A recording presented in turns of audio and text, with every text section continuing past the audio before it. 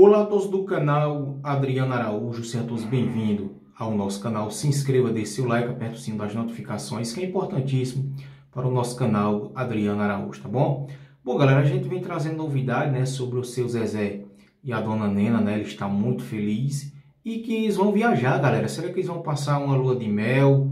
Será que vai ser um momento muito feliz para o seu Zezé e a dona Nena, né, que foi um casal que foi conhecido pela internet através do nosso amigo Ivan Borgatti, que tem um canal maravilhoso, né? E que ele também trabalha na rádio, né? Trabalha na rádio e conheceu, né, esse senhor, conheceu essa senhora, e essa senhora se apaixonou pelo seu Zezé, né? A dona Nena se apaixonou pelo seu Zezé, e eles estão apaixonados e vão viajar. Inclusive quero agradecer, né, as pessoas que estão assistindo meus vídeos, né? Graças a Deus o vídeo deu 13 mil visualizações, está subindo graças a esse casal maravilhoso que é a Dona Nena e o seu Zezé e também esse canal maravilhoso do Ivan Borgatti que também faz divulgações e ajuda pessoas igual o canal Adriano Araújo, né? Sempre trazendo notícia e também ajudando as pessoas a divulgar, né, as histórias das pessoas. Galera, o que, é que vocês acham dessa linda viagem de seu Zezé?